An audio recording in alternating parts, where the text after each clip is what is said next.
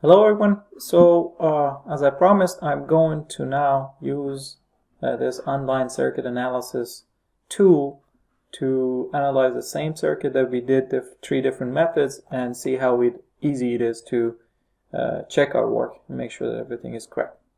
So from uh, the left panel, I'm going to start choosing the components that I need. So we need a voltage source. We need couple of resistors. And then when I want to rotate it I just hold it and then uh, hit R and it rotates them. And uh, another resistor here. Another resistor here. And one last resistor down here. I can actually move them a little bit apart to not make it too crowded and then finally I need an dependent source. current controlled voltage source. Now I am going to connect these all to each other.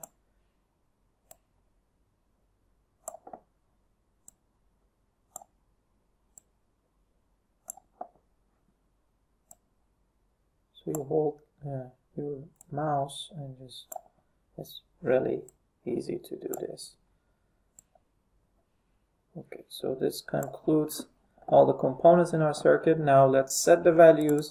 So double click on this, enter 160 volts for the source, double click, this is our 10 ohm resistor, double click, this is our 20 ohm resistor, double click. Is our 30 ohm resistor and that's actually 100 ohm. I don't have to change this. Now uh, the complicated one is this one where I have to define what current is actually controlling the value of this voltage. And that's the current passing through the 100 ohm going from the bottom.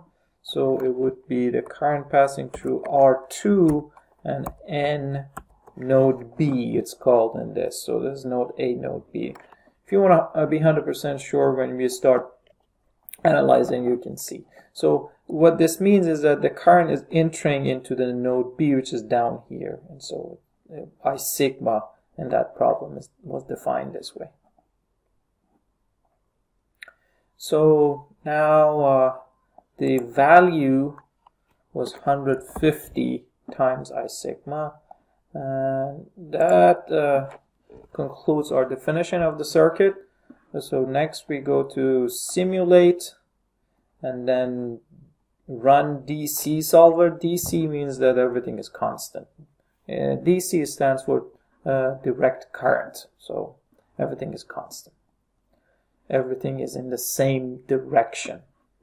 Uh, doesn't change direction, so it's DC, direct current, or directional current.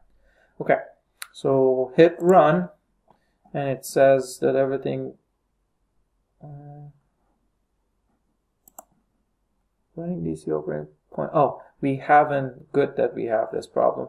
I forgot to define the ground. So let's go and define the ground. My ground would be right here. Uh, now that I did this, I actually I'm going to define nodes as well. This was node 1 node 2 and node 3 and you can choose any name like v1 v2 v3 if you want to. Uh, let's actually do that so that corresponds to what we had in our analysis. So that's v1 I'm going to call this one v2 and call this one v3 so with that I go back to simulate run DC solver and it says that everything was calculated. No now uh, what I need, I just move my uh, mouse up to these nodes and this probe shows up and I click and I see the value. So V1 is 100 volts. As you remember, that was what we calculated. Then you go here, V2 is minus 50, again, that's what we calculated, and V3 is 100 volts. So now if you're looking for the currents, you can go on the node right at the end of the component and hit click and that not only gives you the voltage of that resistor but also gives you the current.